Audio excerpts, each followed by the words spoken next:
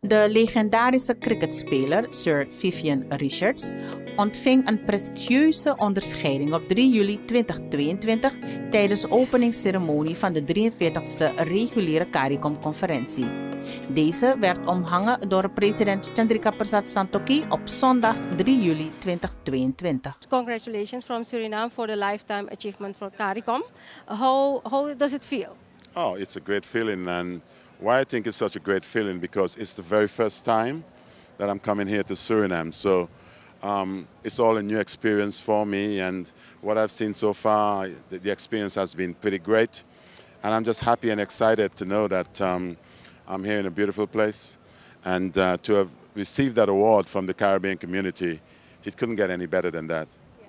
And uh, you're a top cricketer, I mean a legend. Uh, how do you look back at your career? Oh, I, um, I had a lot, I spent a lot of time in England.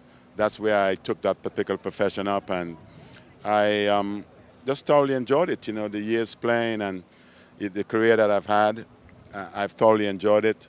You know, we had a team, uh, West Indies team that was pretty successful and because of, uh, we had Clive Lloyd who was a great captain and when I took over as captain, I tried to follow in the footsteps and the, the, the, the, the plan that we had from early and just try to um, do the best that I could at the time.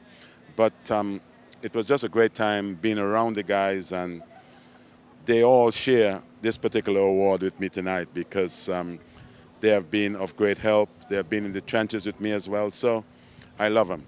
Having such a great career, Sir Vivian, um, what is your message to the young sporters these days? Oh, you, you must have respect uh, for the sport, whatever you're doing, eh, really, uh, whether it's your academics, make sure that you put your best foot forward and um, never ever say um, that you're done. Uh, sometimes you, it looks like you're done, but sometimes also you can dust yourself off and come again.